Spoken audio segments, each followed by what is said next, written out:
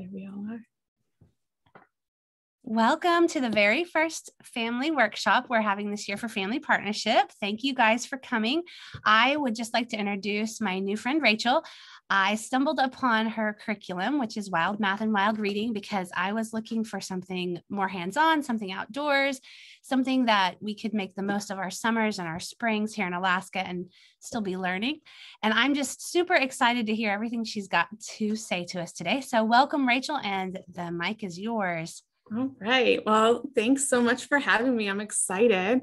Um, so, like you said, I'm Rachel Tidd, and I'm gonna I'm the author of um, Wild Math and Wild Reading. I'm gonna share my screen here. So this is always fun.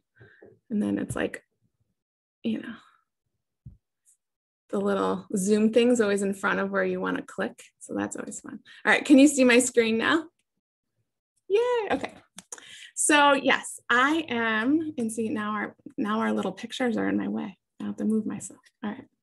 So I'm Rachel Tidd, um, and I'm going to talk today a little about how you can integrate math into your homeschool and do it outside, especially and some reading. I've got it all in there for you today.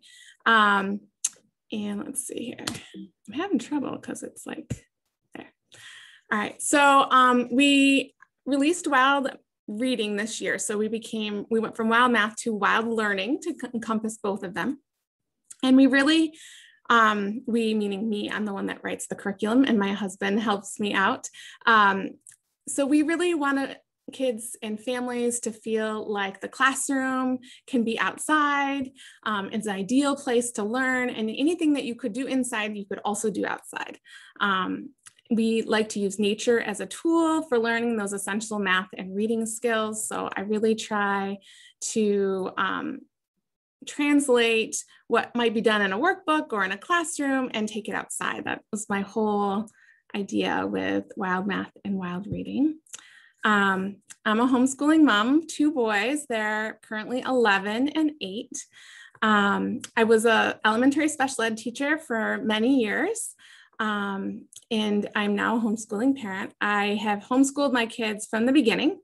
Um, they're lucky that the oldest one um, we decided to homeschool, and then my youngest one, um, when he came along, he also um, got to homeschool, which was really he was lucky because he had a lot of sensory issues and he has some learning disabilities.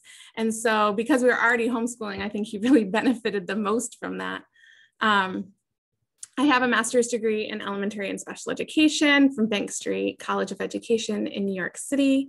Um, and I hold four teaching certificates in New York State, which is a lot, but sorry.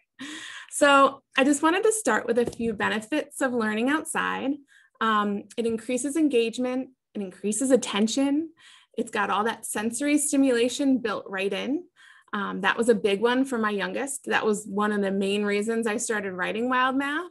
Um, is my youngest, who's in that picture, had a lot of sensory issues. And when he was at Forest School, he had no problems. Um, when he was getting evaluated um, for services, we went to the uh, teachers there to fill out. You get like these things the teachers have to fill out. And they were like, What do you mean? We don't see any problems. And I was like, What do you mean? What do you mean? Because we're like dying at home. Like he's always sensory seeking and doing all kinds of things. And they're, you know, we dug into it more and all of his sensory needs were being met in that outdoor environment because they allowed, you know, you, you to cover yourself in mud or to play in the snow or to lick the ice in the stream or climb trees or ju- you know jump those are all allowed and so what i realized is if i was going to homeschool taro his name is taro um, i was going to have to bet the best way for him to learn was to continue that trend um, in that method of outdoor learning because it just worked so well for him. But when I went online and I searched for resources, there wasn't anything there. And so I started doing my own thing.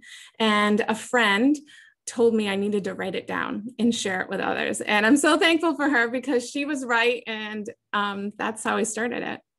Um, so, yeah, the sensory piece was a huge, huge one for our family. Um, using outdoor um, real materials like pine cones and sticks is actually connects abstract concepts with concrete examples.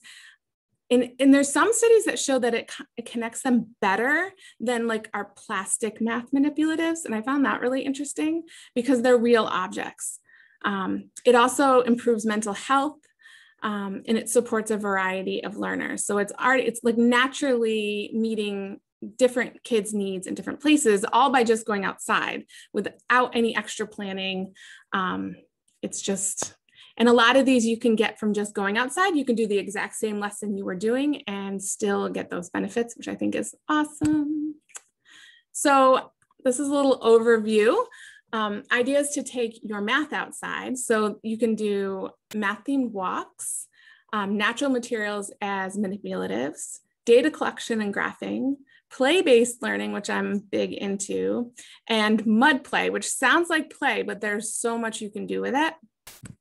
So we'll start with math themed walks. So this is my older son, Finn, maybe two years ago in um, town. We live out in the country, so we have to go to town to do, and some of you might have to do the same thing to do some of these things. So for shape walks, we love to go to town um, and look for different shapes. So he's showing off some awesome circles. Um, manhole covers are really good.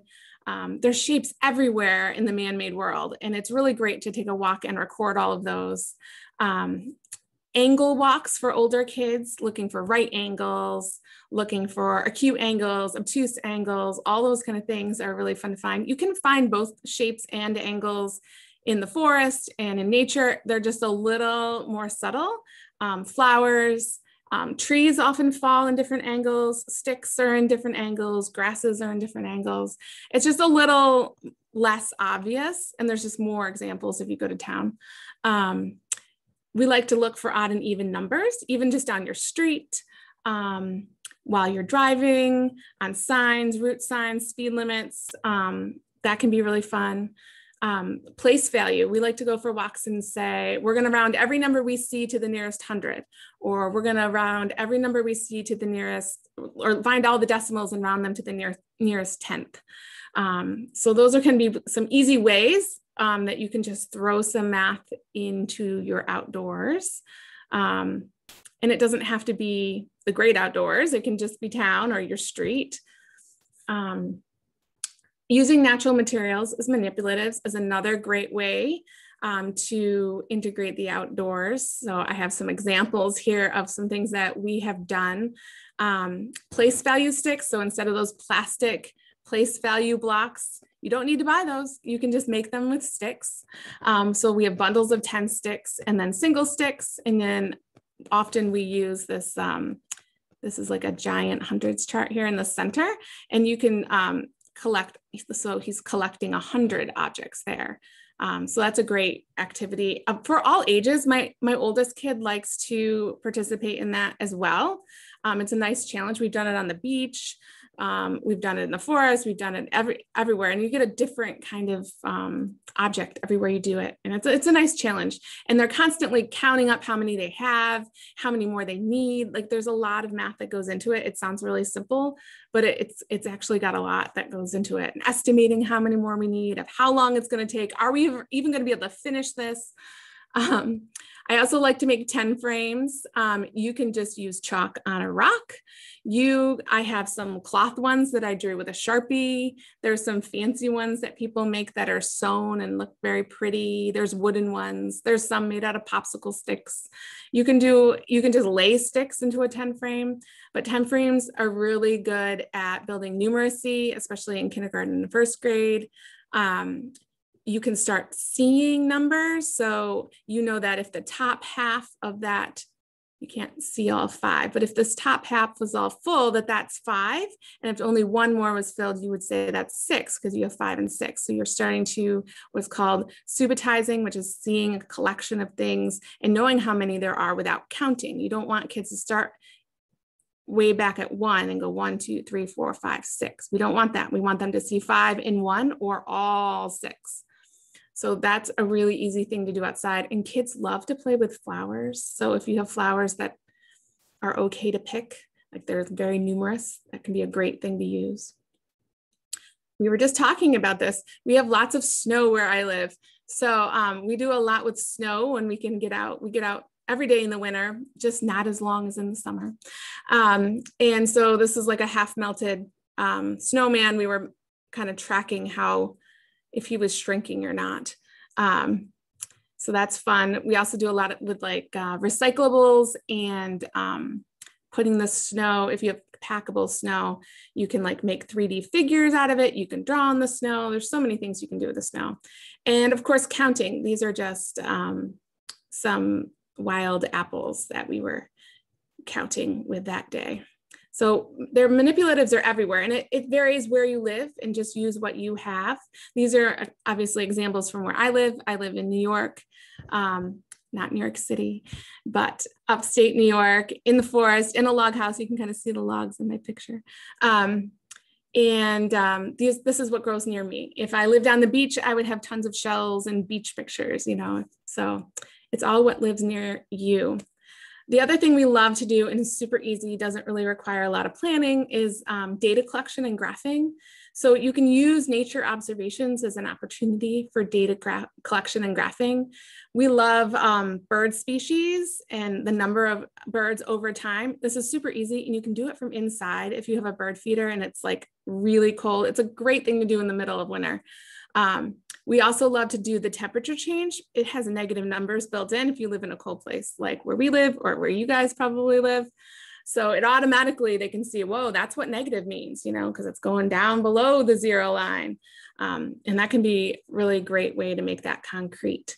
We like to graph rain or snowfall, flower colors or species on walks, um, animals or insects observed on a walk, or just like a 10 minute blitz of looking around.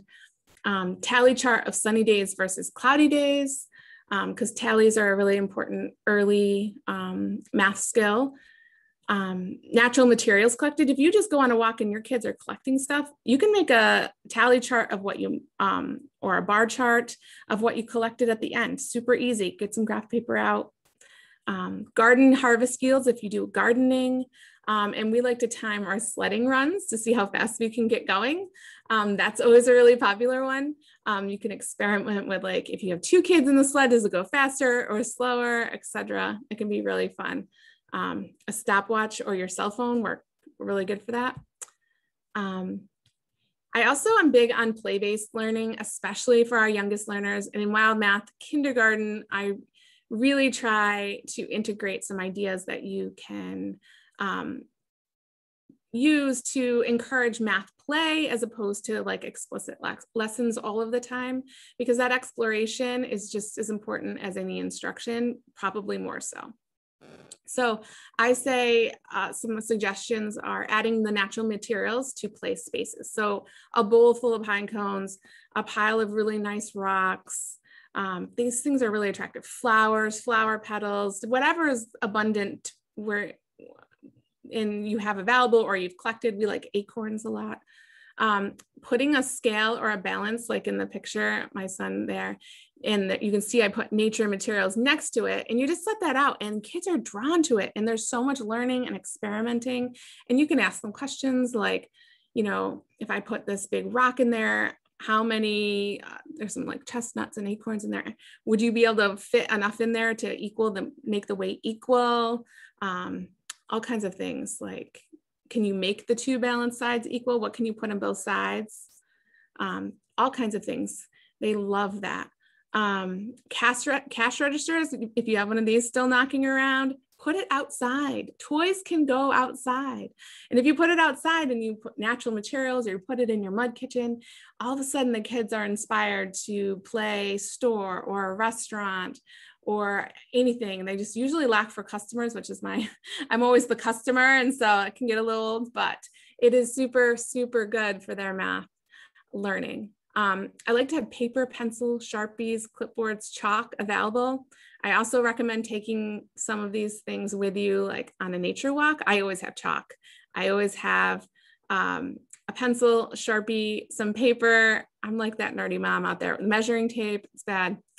Um, I like to have rulers and measuring tapes outside. So it's good to know where have the kids know where these things are and kind of have a place for them. So if they think they're like, they're playing something and they want to make paper money. They're like, oh, I don't have to go inside or whatever. I can just go get the paper and the pencil over in the spot in the yard in a plastic bin or whatever, or in the garage or the shed or whatever. And that way it doesn't interrupt their play to get what they need. They're able to just get that independently and keep going. Cake pans are like huge for fractions and restaurant play and addition um, and subtraction. So I really recommend them. My favorite way to get them is to go to um, thrift stores and get old ones. Um, garage sales are really good too if you have those kind of things. Um, and I'd like to collect the rectangular ones, the square ones, the round ones. And the best thing about them is they don't rust um, and they don't break like plastic. So they're, they'll last for a long time. Um, and I use cake pans in my math curriculum up to fifth grade. So they're really, you get a long length for them. Uh, and then of course, games, hide and seek are, is great for counting. Um, I like to play games, board games outside. We really get kind of creative. Um, so here's my, my fraction example. Um, we use mud, sand, or snow, depending on the season, um, to use to learn all kinds of things with our cake pans. Um, so I said earlier about the different shapes. This is one of my favorites, the rectangle. Um, you can make pizza and add or subtract toppings for younger kids. Um, that's a really exciting. The picture is showing how to make equivalent fractions and showing that. So it was like two thirds, and then I put that middle over it and I made four sixths. Um, that middle, I don't know, it's like a, I think it's a piece of goldenrod, dried goldenrod or a stick um, to show that. And so I have very explicit pictures in Wild Math fifth, fifth grade of how to teach fractions with mud pies. So, so ideas to take reading and writing outside. So I recently embarked on reading and writing outside because I felt like that's the other big sphere that I know I'm always trying to hit as a homeschooler. I, we do reading and writing and math, and that's like our big thing. Um, and so I was like, challenged myself. Can I can I take reading and take it outside? And um, I think I succeeded with wild reading, so that's pretty exciting. Um, so learning and practicing reading out, outdoors movable alphabet. So you can see two diff three different examples in this picture. So the top picture is um, ice letters that I put food coloring in and I froze and then I popped them out and then you can use them in the snow. You can also use them in the summer and they float in the water or you can use them in the bath. Lots of different um, ways to use that. And the bottom picture, he's writing with the rock one. I made took rocks and I took a Sharpie and I wrote the letters on there. And then we also have the plastic like magnetic letters um, in that picture. And I have them mixed together in kind of like a craft bin and they're all labeled by letter. So you can take it outside and they don't get all mixed up. But that is like my number one way to integrate phonics and reading and spelling easily outside. Um, I also love chalk. I love it for math. I love it for reading. I love it for writing. It's just a fantastic inexpensive material. If you have pavement, I don't, but if you have pavement, you can write with chalk all over your driveway or your sidewalk. We have a deck, so we write on that or on the side of the house. You can write on tree trunks, you can write on rocks, you can write on boards. It, it's really phenomenal. It's like all the things you can do with it. Um, and I have a lot of games um, and activities to, that use chalk and wild reading. Um, I love to go on a walk and with younger kids and say, let's look for all the plants or animals that begin with the, the M sound, the M sound. Or let's find things that rhyme with ick, like stick, right? Or they get really creative and it's great. Um, it's just another way to kind of integrate these things into what you might already be doing um, picture word sentence scavenger hunts. So just like I like to do math scavenger hunts with popsicle sticks with the facts on them, you can also do the same thing with words written on popsicle sticks or um, clothespins and pictures. I clip them all over the yard. Um, and then they had to find those pictures and use the movable alphabet to spell those words. Um, you can also have them be sentences and they either have to write the sentence or read the sentence. Easy ways to do it. Um, a little bit about how to integrate writing. So um, you can label plants. We did this in the spring. My son wrote all the little labels for all the little flowers that were coming up in our garden. So, like we had crocuses and daffodils, and he wrote those words and he labeled them, um, kind of like a botanical garden. You can record the weather on a daily basis and have them write that down. You can do some shape poems, which is on the um, my right here in the picture. This is some shape poems about leaves. So we brainstormed a whole bunch of words that described leaves, and then we um, wrote them. And you can see I have different levels here. One my younger kid wrote, and one my older kid wrote, and they wrote it in the shape of the leaves. Um, five sense, senses writing, um, sitting outside and using their five senses and um, as observations. So, what do you smell? What do you taste? What do you see? Um, what do you feel? Sit spots are a great way to do this too, where you have kids sit for five or 10 minutes in a special spot they find outside and just observe. And then you can talk about it and write about it afterwards. That's really good for all ages, even adults. Um, chalk again, you can never get enough chalk. Um, and you can also make letters with natural materials. And this is a really good example of when we did the alphabet. So a lot of times we hang up alphabet posters in our house um, and that's great. But um, this is one that we made out of natural materials. So we went out and we collected all kinds of natural materials. And then we came in, and as a family, um, we glued them into each letter shape. And then we kind of watercolored the, the background to make it more colorful. And then we, that was our letter um, poster that year. And it, it was really beautiful and I, I really liked it. And it was just a little bit different um, than if you bought one and it's free it's out there so. So how do you get started with outdoor learning? I don't want people to get really overwhelmed because it's so easy to do but it can be so so simple to get started. You can simply take your regular lesson or your morning circle or your morning read aloud or whatever you're doing, and you can just do that outside. You don't have to think of something special.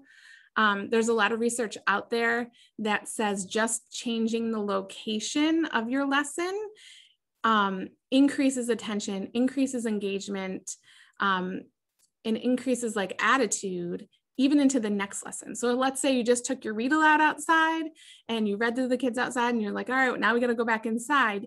That whole next lesson, if you did another one inside, the that increasing engagement and attention would stay.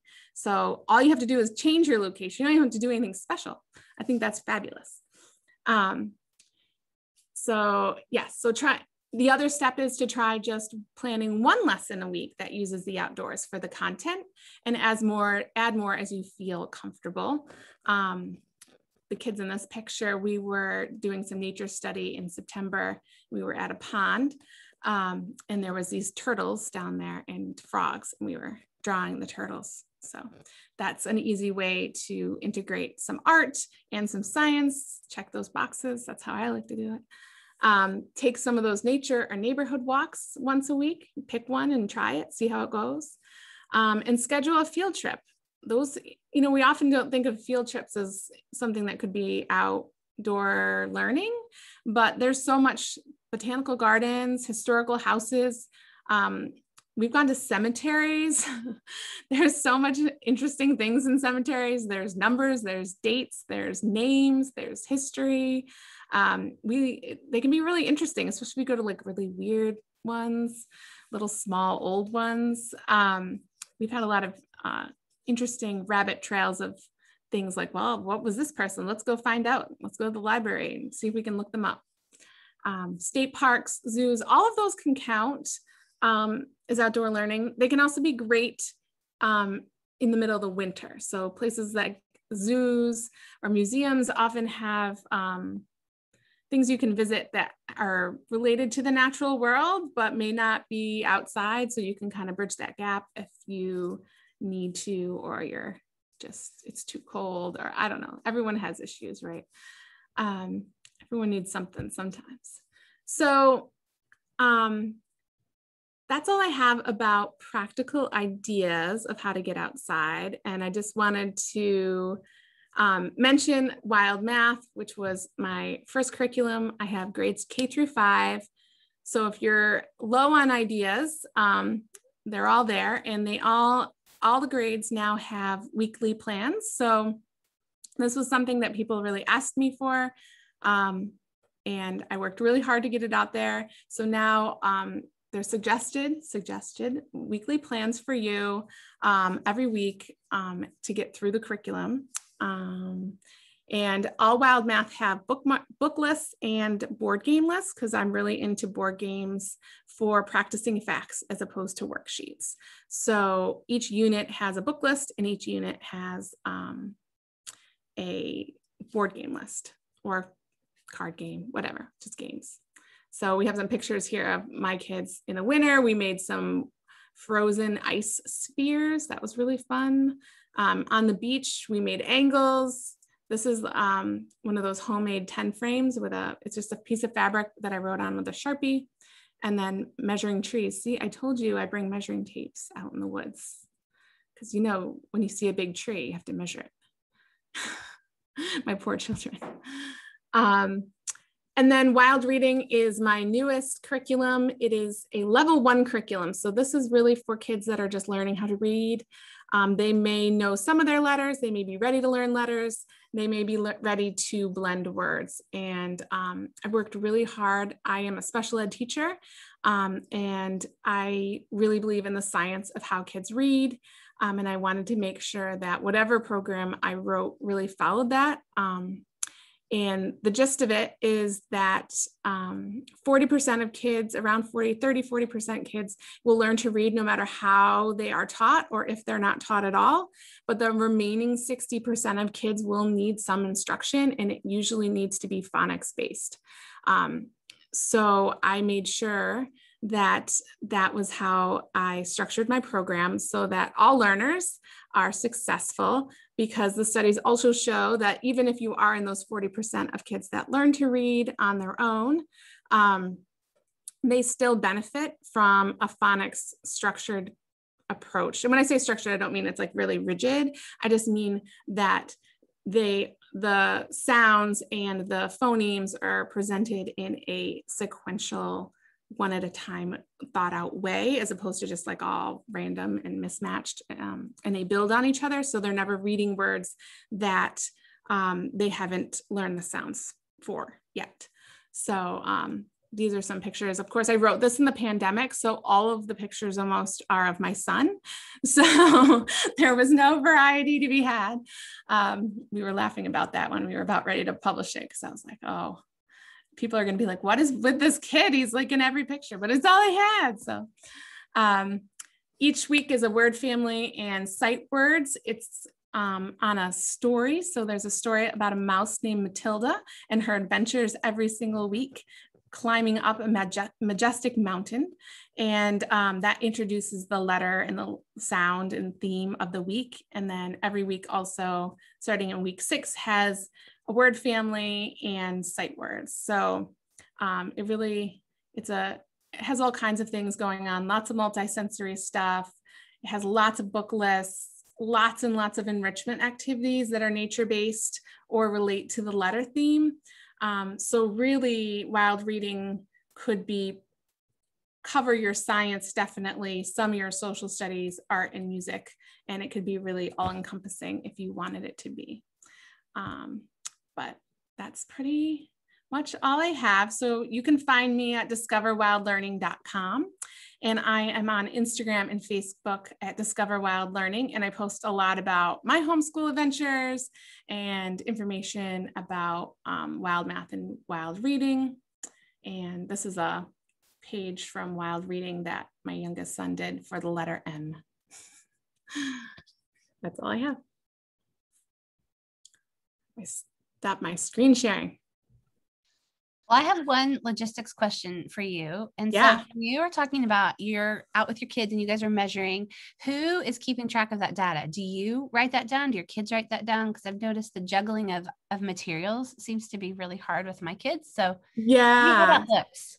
So it can be, it depends. I have an 11 year old who's pretty with it. So sometimes he does the recording.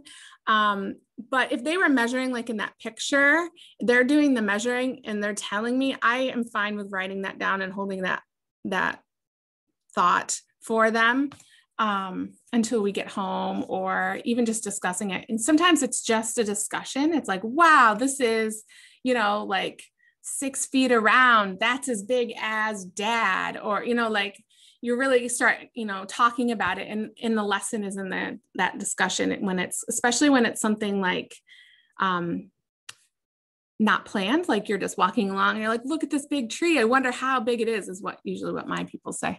And so we're like let's see because then i'm like let's see because i've got i pull out my stuff i've got a measuring tape in here somewhere. Um you know and so then we're talking about it and then they're kind of like wow yeah this is really big and like is it how much bigger is it than all the other trees? Like does that what does that mean? This tree was here before here where we live everything was farmland and everything's grown back up. So there's when you see a really big tree you know there's some history to talk about there. Um, but yeah i usually I can go both ways. If the kids are older, I definitely want them to write. If they're younger, um, I think writing it down when you're on the fly like that for them is is totally fine. That's super helpful. And then so now I'm wondering um, if your kids, if if your curriculum is mostly not worksheets, how do you make sure that they're learning to write numbers? How do you ensure that? Yeah. So help us out with that. Yeah, so that's where the chalk comes in handy, right? Um, that's where, because we do a lot of writing with chalk, um, and there's whole in wild math. So every one of those skills is outlined, and then you will have a list of activities that you can do to write numbers one through 10, um, like in kindergarten. Um, and then some of the other things we like to do are writing in sand or mud or with mud, um, like as paint kind of.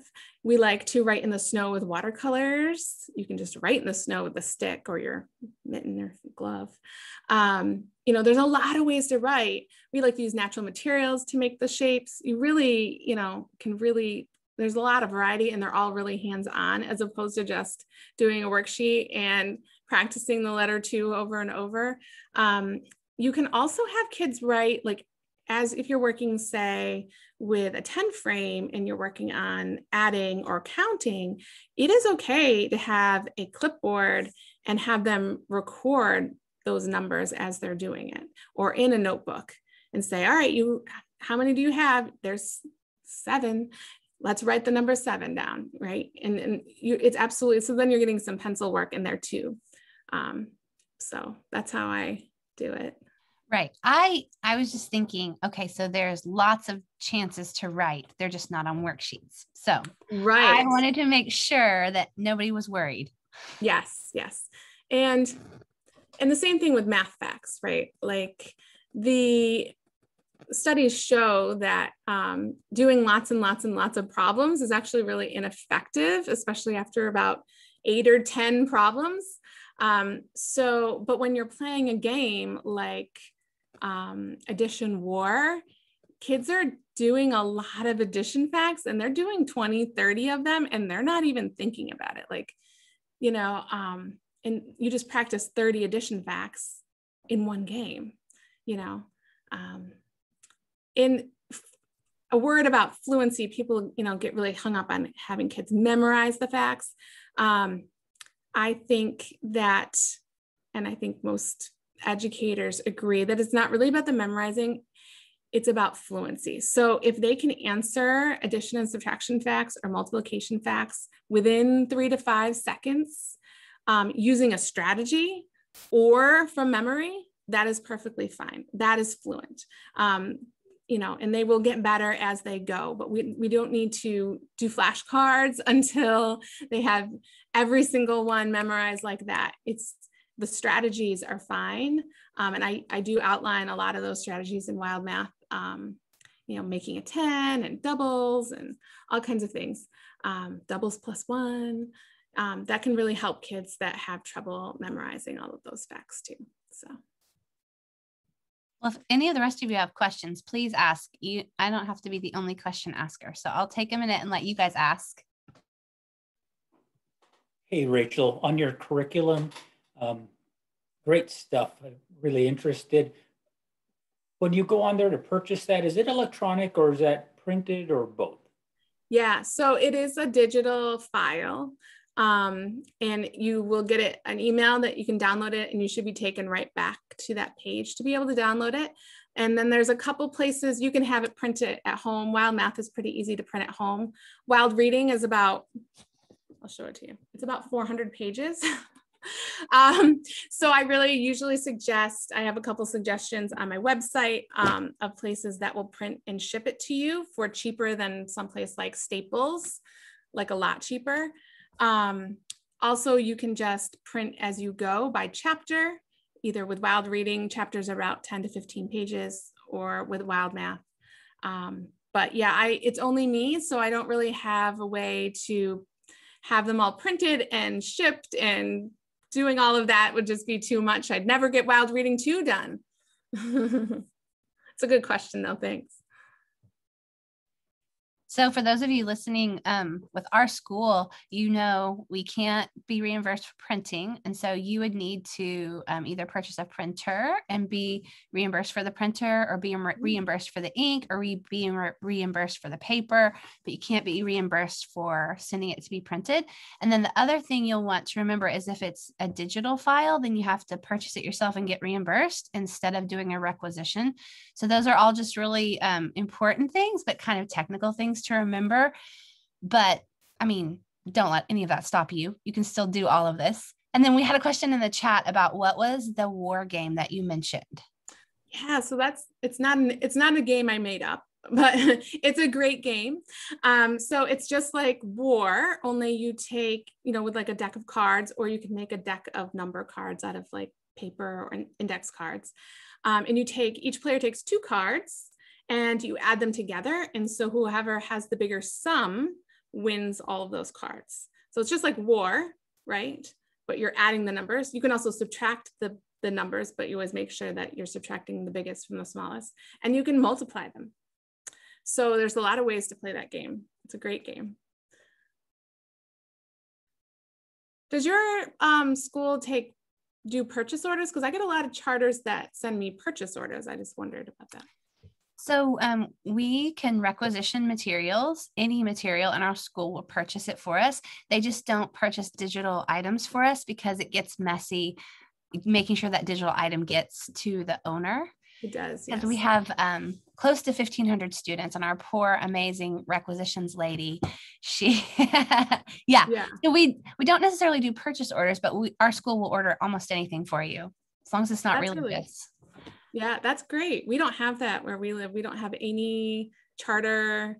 Home, homeschoolers are on their own. It is, it's rough. no, I often feel like our school is a great big gift. So um, I just started working here in the last few years, but before that, I was just a parent. And I, every year, I was like, I can't believe I have all this money and all this support and all these resources to homeschool my kids. So it's really yeah. amazing.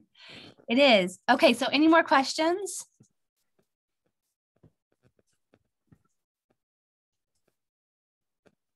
All good. I guess you just hear my daughter in the background doing some art oh, projects. well, Rachel, thank you so much for creating this, first of all, because I already feel a little bit more direction in what I'm doing with my kids. And then for coming and telling us all about it and giving us ideas and putting it all down in a curriculum we can buy. So if we want all those games, we can go do that. So, and I just want to remind anyone listening if you do want to purchase games, you can totally purchase games um, under your math course. So if you've got like um, second grade math, you can just add on all those fun games just as items under that math course. You don't just purchase curriculum. So please go buy all the games. Mm-hmm. Um, please go get yourself a ten frame and start having fun. And um, if you have more questions, Rachel's information will be listed on our website underneath where we post this workshop. So you can always reach out to her and um, tell her how amazing her curriculum is and thank her yourself. But thanks again, Rachel, for coming and spending your afternoon hanging out with us. No problem. Thanks for having me, guys. I enjoyed it. Hopefully, I can come and visit Alaska sometime soon. Please, please. Yes. And there's lots of thank yous in the chat. Oh, so. that's great. Okay. Well, have a wonderful afternoon. I'm going to stop recording and um, you guys can go enjoy the sunshine.